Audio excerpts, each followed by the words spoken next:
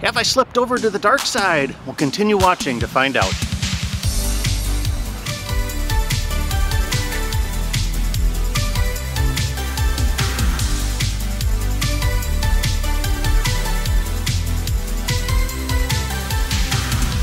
So today we're at the Dells of Eau Claire County Park in eastern Marathon County. I like the Dells of Eau Claire for a couple of reasons. One, it's close to my home of Wausau, and second, it's on the Ice Age National Scenic Trail. We're on the Ice Age Trail, so it's um, always a, a, fun time to come out here and uh, put the Ice Age Trail on the air. It's a nice little park. It's got um, a great water feature, uh, the Dells of the Eau Claire River, uh, which was created oh, uh, when the glaciers uh, melted. Let's kind of get into the reason I'm here, and it's this little thing.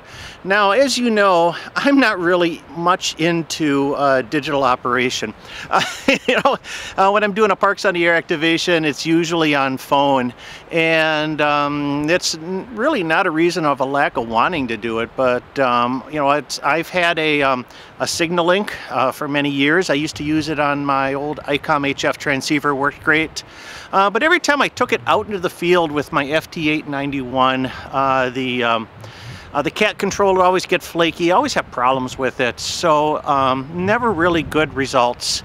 And probably part of it was um, me not using it correctly, part of it is the device itself, part of it's the FT891, but you know, you just get that um, Venn diagram of failure going on. So um, I decided to um, resolve that problem by uh, purchasing a DigiRig. Uh, DigiRig is, I'm going to call this the next generation uh, interface. Uh, a nice little box here, the sucker's tiny. Uh, has a USB-C port on one end and then it has uh, two uh, eighth inch uh, micro ports on the other. one for serial or control, cat control, CIV control, um, transceiver rig control of some sort. And the next, and the other one is for audio, audio out and audio in. Uh, so it's um, a lot of punch in this little package. Um, hook it up, you know, hook it up to your computer, uh, get the appropriate cable for your transceiver, and uh, you should be on the air. Well, at least we're going to test that today. So um, I'm going to tell you a little bit about more about the DigiRig, how I set it up for my FT891, and then we're going to put this park on the air. The DigiRig Mobile is a digital modes interface that combines audio codec, serial CAT interface, and push-to-talk control. What really makes the DigiRig Mobile different, other than its diminutive size, is the ability to communicate with the transceiver in one of three ways, CAT, VOX, or voice activated, or push-to-talk via the serial RTS signaling. In most cases, the DigiRig only needs a single USB connection from the computer. Because it's built on an open source platform, the DigiRig is quite flexible and extensible. Perusing the online store, you will see that it can support a wide variety of transceivers, even those without computer control. But today we're going to focus on Yaesu's FT891 and how the DigiRig interfaces with it.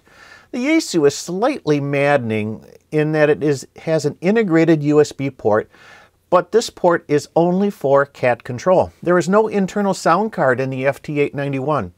Because digital operation is split between the USB and the data ports, using this rig on the uh, digital modes becomes a bit sloppy. The DigiRig overcomes this by using serial RTS signaling to toggle the push-to-talk button. This means that a single cable can deliver audio and push-to-talk, and you don't have to deal with configuring CAT controls and getting multiple drivers to work. If you're using another one of Yaesu's portable rigs like the FT817, 857, or 897, then CAT control is handled through the remote connection on the rig, but the DigiRig still offers unified CAT support through the interface. In purchasing the DigiRig for the FT891, you'll need two items, the DigiRig mobile interface itself and the Yaesu FT8XX cords for the DigiRig mobile. In selecting the DigiRig, order the logic levels or default CAT configuration. This configuration is compatible with CAT and RTS signaling for Yaesu. In connecting the DigiRig to the FT891, first connect the interface to your computer via a USB-C cable. This will automatically install the appropriate driver for the interface. Next, looking at the cables, you'll see that one has a green connector and the other one black. These are color-coded for the audio and the serial connections on the interface. You will only use the black audio cable with the FT891 so you can put the green cable away. The audio cable will connect to the data DIN connector on the back of the transceiver. That's the one closest to the USB connection on the rig. Speaking of USB, we will not be connecting the USB cable to the rig and only will control it via the DigiRig mobile interface. Now that the hardware portion of connecting the FT891 to the computer is done, we're going to move on to the software configuration. I'm going to focus on the WSJT-X application, but it's just going to be similar for other digital packages. Then opening up WSJT, you'll want to use the port for RTS signaling. Open up File and Settings and under the radio, make the following changes. Set cat control to none. This will gray out most of the form. Then push to talk method, select RTS and also the port your DigiRig is connected to. In my case, it's port 6. Finally, test things by pressing the Test Push to Talk button. This should cycle the transmit on your FT891. Be sure you're connected to an antenna or dummy load. If it works, you're set. Otherwise, you probably selected the wrong port and need to make an adjustment in Yaesu's internal menu. Next, go to the audio and make sure the DigiRig's input and output are selected and not the computer's internal microphone and speaker. Press OK and you should start seeing stuff on the waterfall. Before finishing with WSJT, I'm just going to quickly shift over to the FT891 and talk about the settings that should be adjusted for data operation.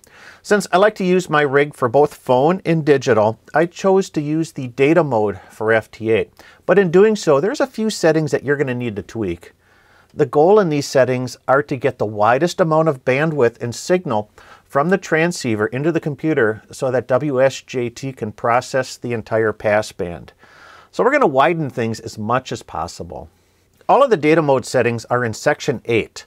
So uh, first off, data mode 8-1, we should be set to others. 8-3, other DISP 1500. 8-4, other shift 1500.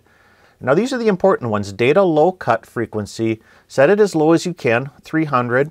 And data high cut frequency, set it as high as you can, 2800. Uh, data in select the rear. Data push to talk select DAKY. This is important. If your FT891 isn't cycling when you press the uh, push to talk test, uh, make sure that your data push to talk select is set to DAKY. Data out level, 50. Uh, data BFO should be set to USB or upper sideband. Uh, digital modes are always upper sideband on the HF bands. And then finally, we're going to set the uh, power output for our, our data modes.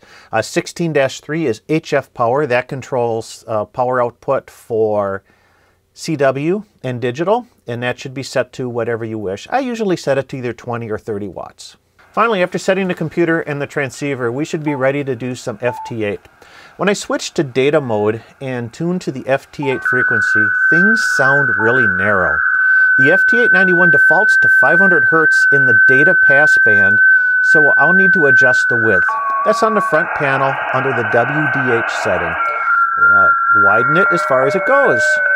You'll also want to turn off noise reduction, the processor, and AGC or automatic gain control. The goal is to get the widest, most unaltered audio into the computer for processing.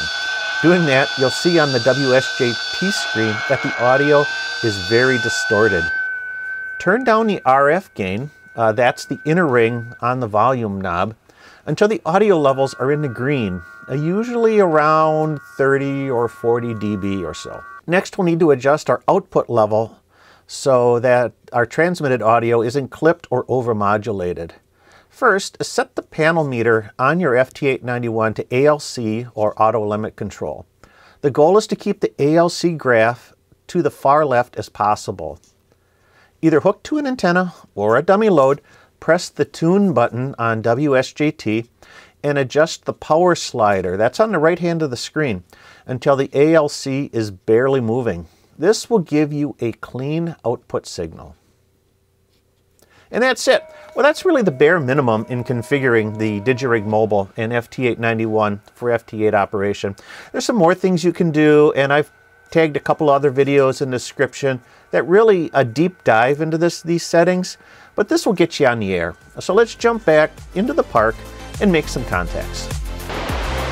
We're on the Ice Age Trail. If you like this video and you want to see more like it, hit like and subscribe. That's my indicator to produce more of this type of content. Thank you for your support.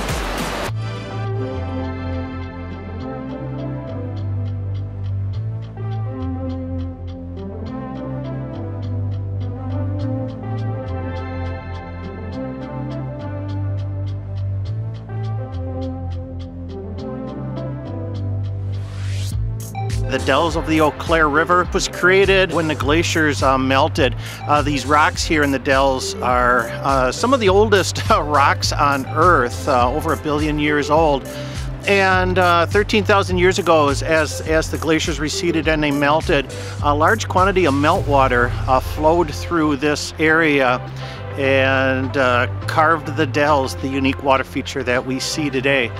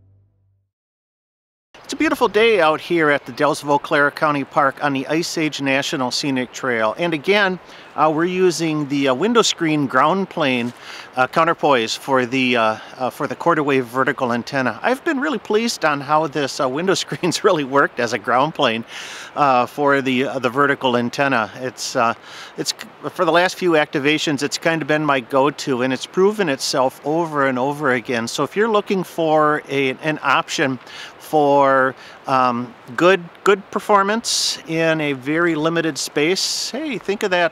Uh, think of using something like a screen instead of radio wires.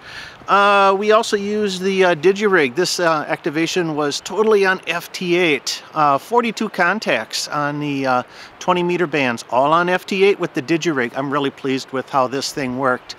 Um, like I said, I've, I've always kind of shied away from digital operation because the SignaLink just never worked right uh, with um, the combination of the cat control and the and the computer and, and the transceiver. But with the RTS uh, serial signaling that the Digirig does it's it's solid. It's really working. And I'm I'm, I'm really glad I I bought this thing. So look for more uh, FT8 uh, activations in the future so uh, thanks a lot everybody that uh, caught me on FT8 this afternoon. It was a lot of fun. Uh, we'll be doing we'll be doing this again. So look for me on the bands. I'm Michael, KB9VBR. Have a great day and 7-3.